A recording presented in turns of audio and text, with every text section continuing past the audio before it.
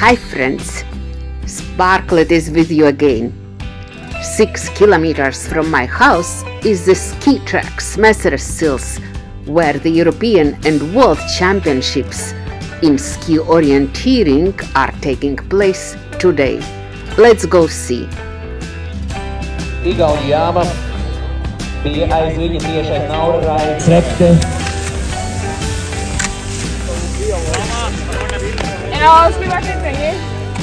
Please, Jan Kašek is down to Jakub Skoda.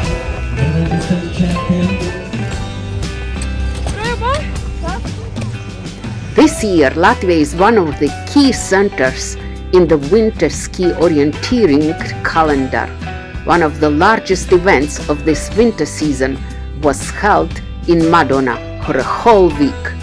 European Ski Orienteering Championship, World Ski Orienteering Championship among juniors, and European Youth Ski Orienteering Championship.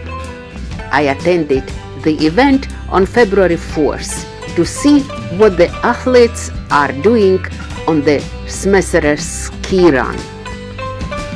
Today I am in Madona city in Smecere's skiing trace and uh, the event which happens here five days It's very interesting.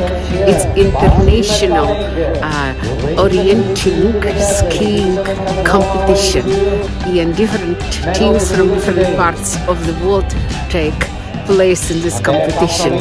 Uh, it's, it's almost a week people are here, they are living, sporting, and uh, seems they don't feel cold.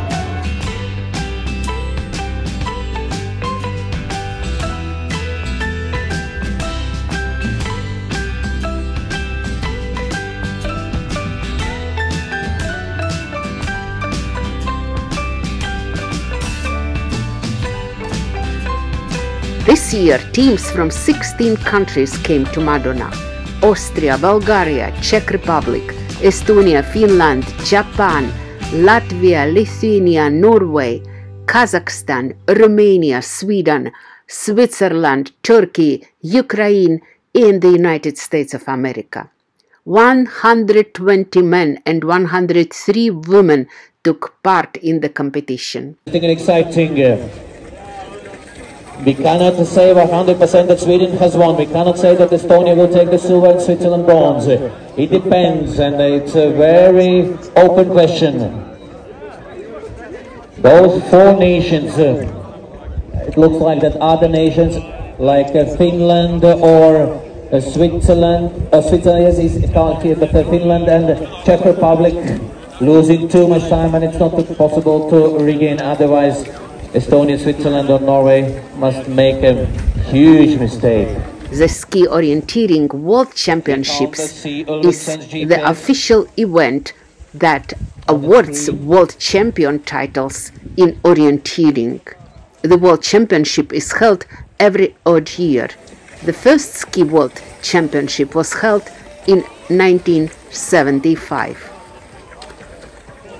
Go, but ladies and gentlemen, historic medal for Estonian team.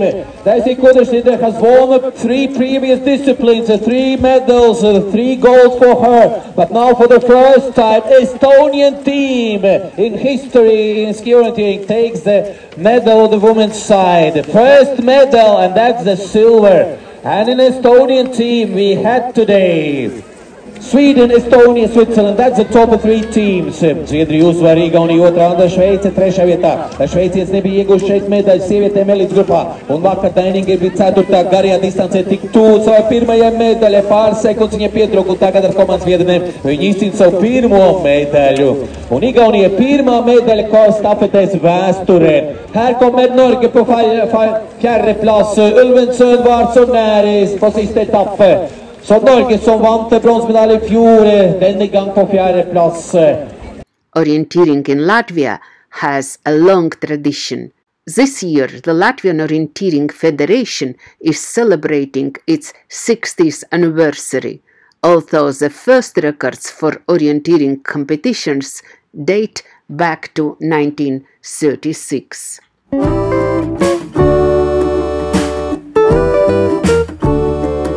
Year, the competitions are held in the Madona region. The total length of prepared ski slope in the vicinity of the city of Madona is 100 kilometers. Madona is a sports and a green region of Latvia with a population of about 22,000 people. Madona is located in the eastern part of Latvia, 170 kilometers from Riga, the capital of Latvia. We live in an ecologically clean and natural environment in areas protected by the European Union.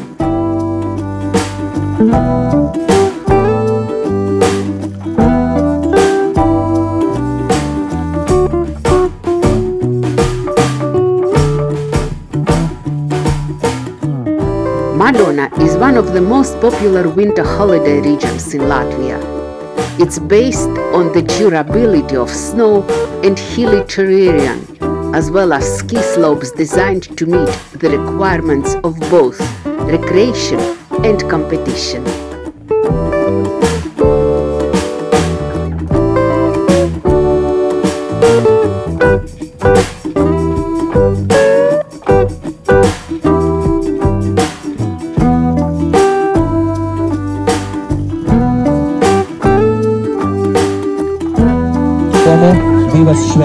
Divas Zviedru komandas un vēl miks. Tā kā Latvija turās kopējā ieskaitē. Un Čehija turpat, nu nav, var teikt, kā 40 sekundes, bet to var. Ski orienteering is exciting because of its dynamism and brave and capable athletes. They have to make quick decisions in the intricate labyrinths of ski slopes and occasional fast descents. In order for the event to take place, a lot of preparatory work has been done. The races were exciting and technically challenging. In the struggle for victories, the participants had to have a sharp mind and a quick step. Sports organizers of the Sports Integration Center Smeceres Sils can be proud of their experience in organizing Latvian, Baltic, Scandinavian, and European and World Championships in cross country skiing and roller skiing, biathlon, and ski orienteering. Czech Republic on the final straight. Czech Republic battling for the fifth place. Yeah, fifth was mixed team, not counted, so Czech Republic will take the fifth place. Last year, they had only first two legs with Klavatova and Hrastova in those first two legs. And now this year, Klavatova, Hrastova. Ten, 10 minutes behind, and here comes Finland's athlete. So weather is quite uh, cold here. It's not a sunny day today. Yesterday we had a sunny day, and I think sports people were happy about that. Skiers and uh, uh, people came from different parts of the world. Many international teams. I will show you. And they live all around here, uh, not only in those big houses, hotels, and so on, but they also provided kind of a mobile houses. You see a little bit behind me. Oh, someone is winning because uh, the moderator talks different languages, sometimes English, sometimes La uh, Latvian, which I understand, but when he starts to speak in Norwegian or Estonian, you know, I'm confused, I don't understand, but Ja Finland with Kaama, Tuomisto un Hoskari. Piektās tikai šogad sestās, bet 20. gadā 19. viņš bija. The city has a remarkable skiing tradition. Since 1960, national cross country skiing competitions have been held in Madona. And since 1961, a ski section with cross country skiing and biathlon programs has been operating in the Madona Sports School. This sports school has also trained the participants of the Olympic Games in cross country skiing and biathlon, who have glorified the name of Latvia all over the world.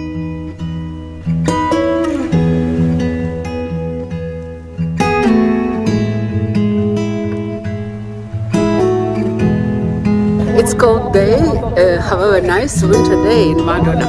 And Madona is the city not only for dancers but also for sports people. There are many tourist bases and ski bases where you can come to ski or to train yourself. Travelers prefer to visit natural sites and rural tourism enterprises, participate in cultural events and sport events, as well as get acquainted and enjoy the products of local producers cheeses, caramels, berry candies, wines, and more.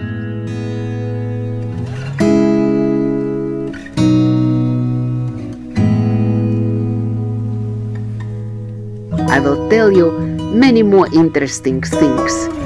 Click like and subscribe to my channel. Watch my films and enjoy your life. Your Sparklet.